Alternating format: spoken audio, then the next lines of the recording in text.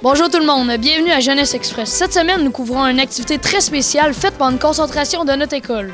La brigade des chefs de l'école secondaire Shannon Baudet cette semaine font des sachets de soupe pour la charité. Suivons-les. Maintenant, je suis en compagnie de Dylan. Mais Dylan, euh, qu'est-ce que vous faites aujourd'hui? On fait des sachets de soupe pour euh, l'organisme Accueil Partage. Dans le fond, cet organisme-là va redistribuer nos sachets de soupe à des familles démunies. C'est dans le cadre de quelle activité est-ce que, que vous faites ça? Dans le fond, là, c'est euh, un de nos trois défis culinaires qu'on va faire pendant l'année. Puis euh, celui-là, il est redirigé vers la communauté. Et maintenant, je suis avec Coralie. Euh, pourquoi, Coralie, tu as choisi cette concentration-là? Parce que je voulais mieux me débrouiller en cuisine. puis J'étais vraiment mauvaise euh, au début. Puis euh, ben, je trouve que je m'améliore.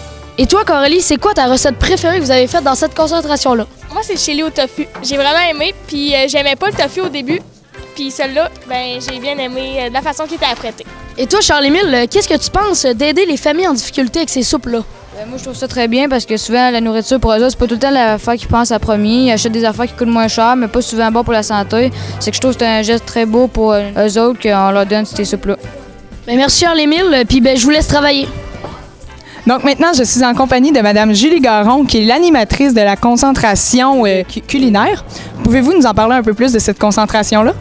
En fait, euh, on appelle ça la brigade des chefs. Il se trouve avoir cinq équipes, euh, jaune, rouge, vert, orange et bleu.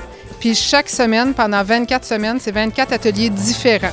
Ils ont trois grands défis à faire. Aujourd'hui, c'est la grande corvée. En fait, ils ont des sachets de soupe à préparer qu'on va remettre à un organisme. Puis eux autres, après ça, vont remettre à des gens dans le besoin.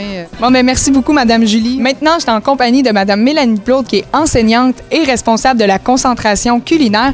Donc euh, là, vous allez remettre euh, les sachets, c'est ça? Oui, là, on s'en va à l'instant. Dans le fond, les élèves vont terminer de ramasser leurs choses. On va prendre les sachets.